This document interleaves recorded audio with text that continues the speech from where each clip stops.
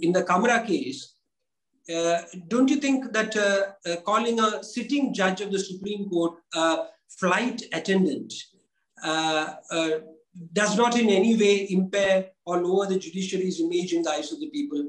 Uh, not secondly, not, see, not really. You, you see, see it in the context. The context which the Kamra is trying to say, it may be right, it may be wrong. He is trying to say that why should the court you know there is let me tell you there is there is a current debate on this. Why did the supreme court in the vacation take up one bail matter when thousands of bail matters are pending? So this is a debate. Somebody will say this way somebody will say that way. In the case of one media person while many other media people were in jail etc etc i for one said and I, I openly and I still repeat that what the court did was correct in taking up that case, not because of an individual concern, but to send a message that freedom of the press is important, is a constitutional right, and that should not be chilled in any manner. That's why that case was taken up. It happened to be, you see, uh, an editor of a news channel. That, that's my feeling.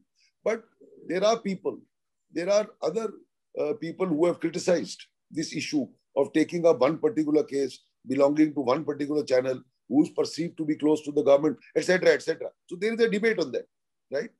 So if you have to take up cases, there are maybe more pressing cases. People who have been in jail much longer, who are unwell in jail, as opposed to somebody who's in jail for four days or five days, stuff like that. I myself appeared in that case, not for the editor, but for you know the other two businessmen who were arrested along with the editor and all that. So they were caught in the crossfire. Now, in that background, in that debate, I think what Kamra wanted to say was, why did the court kind of give, uh, uh, take up that case? Why was he so sympathetic to that case? Why did it give it on, on a platter? And that is what that man was depicting. I mean, it certainly is in poor taste. There is no doubt about it.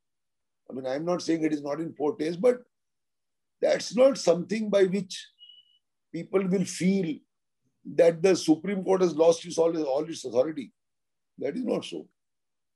You know, I mean, don't you say, I mean, every day don't people generally talk that most politicians are corrupt? And every day you see corruption cases against politicians. I mean, so these, these things are said,